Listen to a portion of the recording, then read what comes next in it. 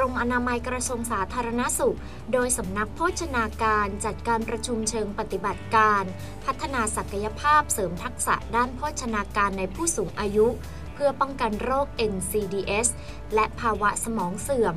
โดยแพทย์หญิงอัมพร เบญจพล พิทักษ์รอง อธิบดีกรมอนามัย เป็นประธานการเปิดการประชุมเชิงปฏิบัติการในครั้งนี้ เมื่อวันที่ 17 ธันวาคม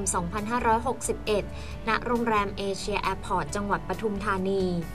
โดยการประชุมเชิงปฏิบัติการ พัฒนาศักยภาพเสริมทักษะด้านโภชนาการในผู้สูงอายุ เพื่อป้องกันโรค NCDS และภาวะสมองเสื่อมในครั้งนี้ เป็นการพัฒนาศักยภาพเสริมทักษะภาคีเครือข่ายแกนนำโภชนาการ เพื่อการป้องกันโรค NCDS และภาวะสมองเสื่อม ในกลุ่มผู้สูงอายุ ให้รู้จักเลือกบริโภค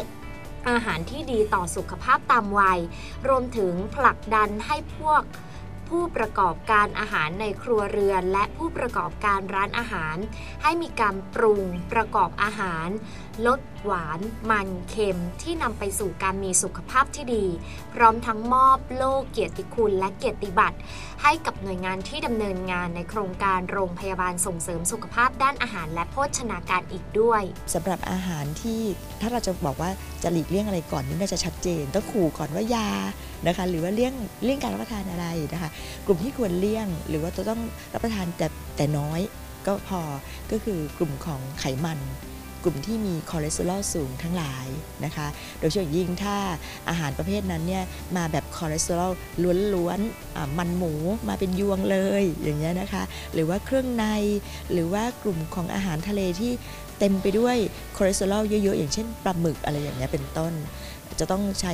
รับประทานในปริมาณที่จำกัดไม่มากนัก นะคะกลุ่มของน้ำมันปาล์มซึ่งก็ไม่ใช่อาหารที่มีคุณภาพดีนัก ก็ควรจะต้องลดลงหรือเลี่ยงไปเลย อาหารที่เป็นการทอด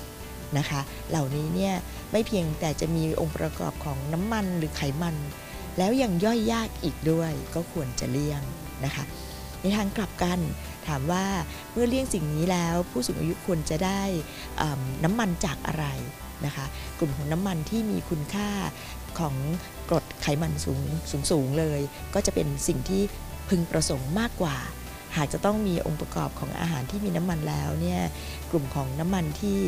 มีคุณค่าอย่างเช่น น้ำมันมะกอกอะไรอย่างเงี้ยซึ่งอาจจะอยู่ในสลัดอาจจะเป็นสิ่งที่ดีกว่าที่จะกลายเป็นน้ำมันหมูจากการทอดนะคะ